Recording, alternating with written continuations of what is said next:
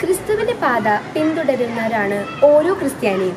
ക്രിസ്തുനാഥന്റെ യഥാർത്ഥ അനുയായികളാകാൻ നമ്മെ സഹായിക്കുന്ന മാർഗദർശികളാണ് ഓരോ സുവിശേഷ സുഹൃതവും.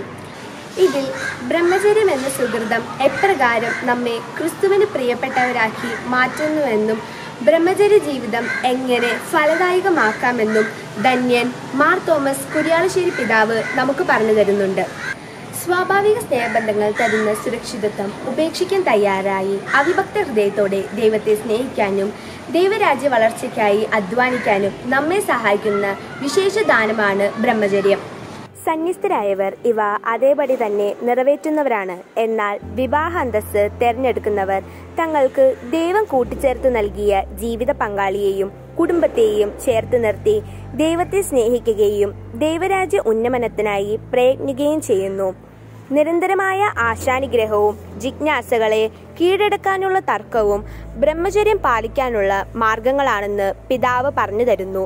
ബ്രഹ്മചര്യ ജീവിതം വഴി ഓരോരുത്തരും തങ്ങളുടെ ശരീരത്തെ ദേവനേത്രങ്ങളിൽ പരിശുദ്ധമായുള്ളതും സൗരഭ്യവാസനയുള്ളതുമായ ജീവനുള്ള ബലിയായി ദൈവത്തിനു സമർപ്പിക്കുന്നു.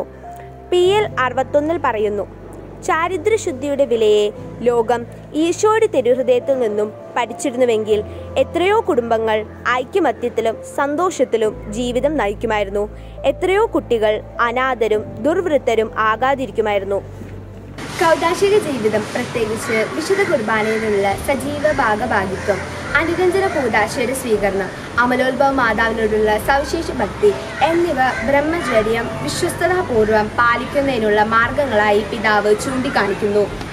പരസ്പര വിശ്വാസം ബന്ധങ്ങളിൽ കാത്തു സൂക്ഷിക്കാനും ഏൽപ്പിക്കപ്പെടുന്ന ഇടങ്ങളും ജോലികളും നമ്മെ തന്നെയും ഏറ്റവും വിശുദ്ധിയോടും വിശ്വസ്തയോടും കൂടെ കാത്തു സംരക്ഷിക്കാനും നമുക്ക് സാധിക്കട്ടെ. അതിനായി പിതാവിന്റെ മാധ്യസ്ഥവും നമുക്ക് തേടാം